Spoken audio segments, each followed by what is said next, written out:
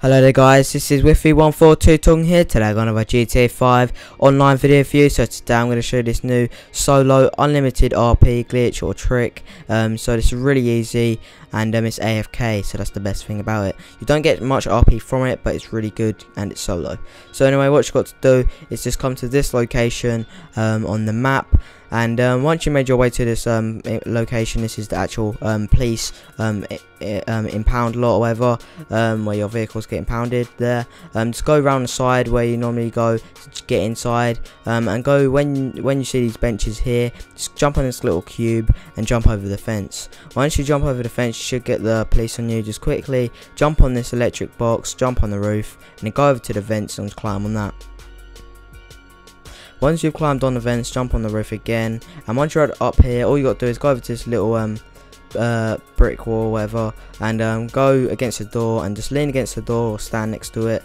And basically the cops will not be able to see you up here so basically what's going to happen is you're going to lose them and then you're going to get back on you straight after.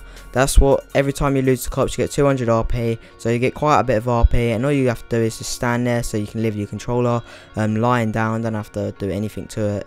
Um, but it's pretty cool um, because you can just be in invite only sessions, leave your controller, and it's legit and you can't get banned because it's actually in the game. Um, it's just getting cops new and getting them off. Um, so as you see, I just got 200 RP.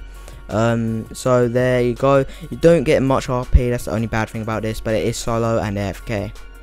Um, another bad thing about this glitch is that every 15 minutes you will have to come back to your controller so you can actually um, move your player a little bit so he don't get kicked from the actual game.